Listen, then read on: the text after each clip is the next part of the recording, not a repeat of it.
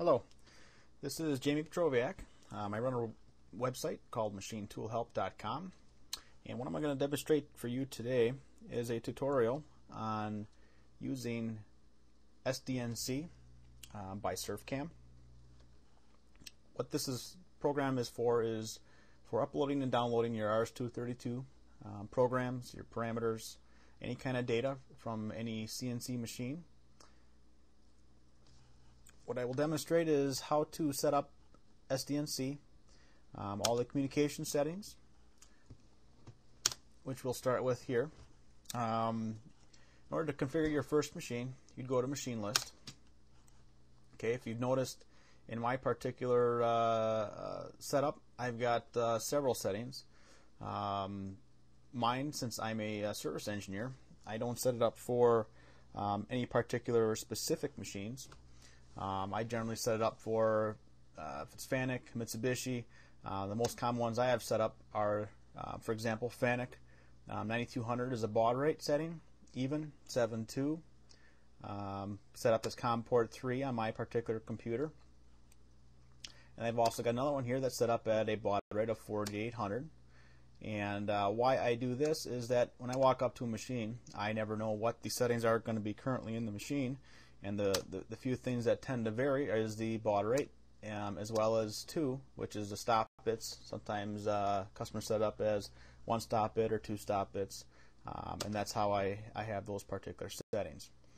Um, if you wanted to create a machine um, from scratch, basically you'd click the Add button, currently right here, and I would add a machine, test machine.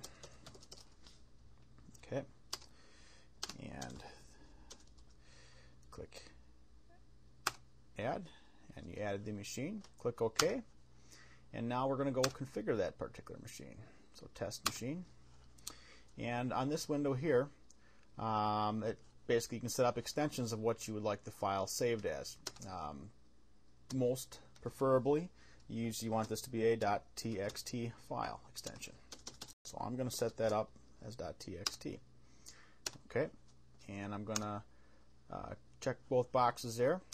I can click Browse and select any directory um, that I would like to, and I'm going to leave it right at the current directory. I notice it throws in the shortcut right there, and we'll just leave everything both in the same directory. Now you can set this up for um, specific machine directories on a machine by machine basis. That way the files always go in and out of the same machine folder. Um, in my case, I generally like to put it all in, in one directory since I, I'm always working on different machines at different companies. Um, communication settings.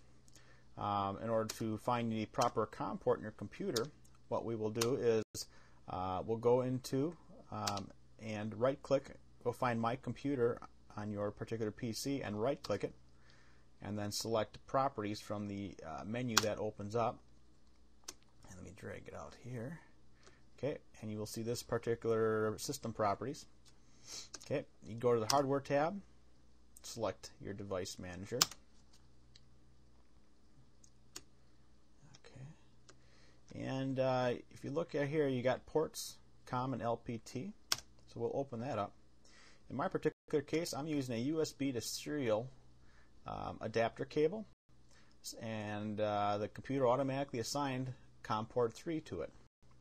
Now, depending on what USB port you plug it into, this COM port will always change. If you're um, using on a laptop, and um, so you always want to, uh, if you can, put it in the, uh, plug it back into the same USB port every single time.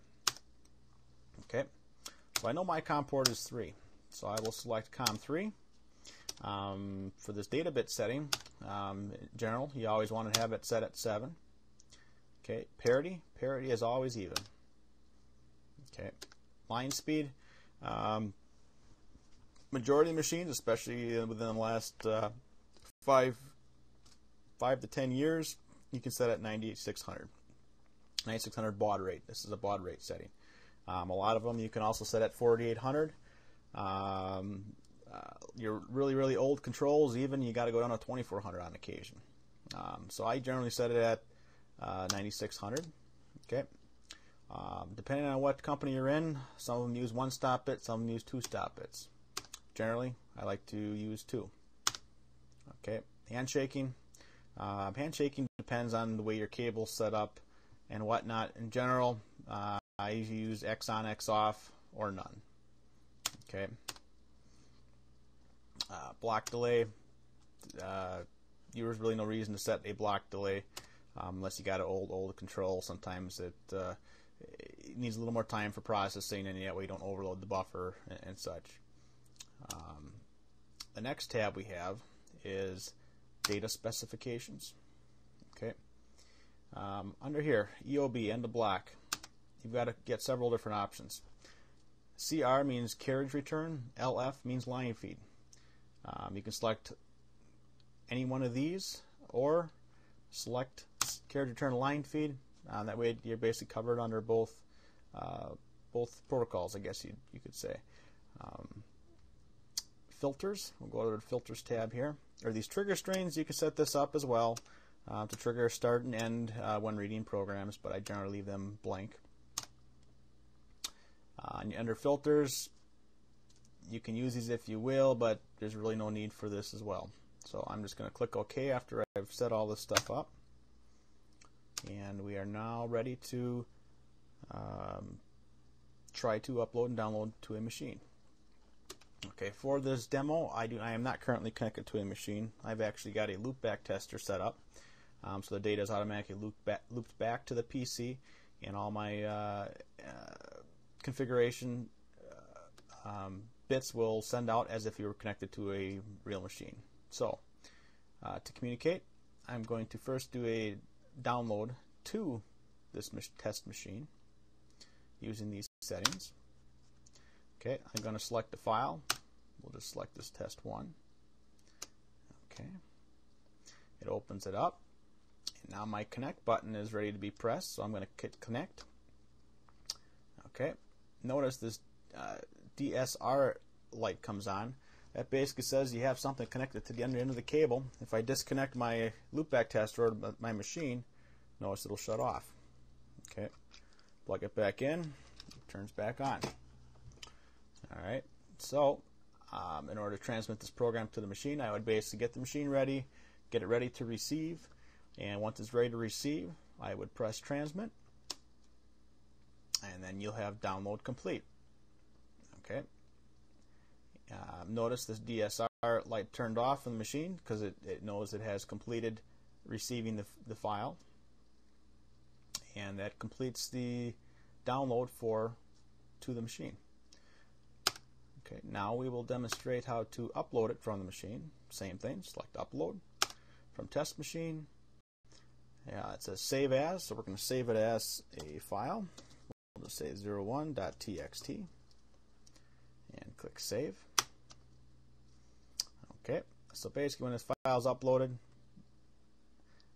it will be saved as program 01 and I hit connect. Okay, port is open, meaning that the computer is waiting for data to come from the machine. Okay, now we hit receive.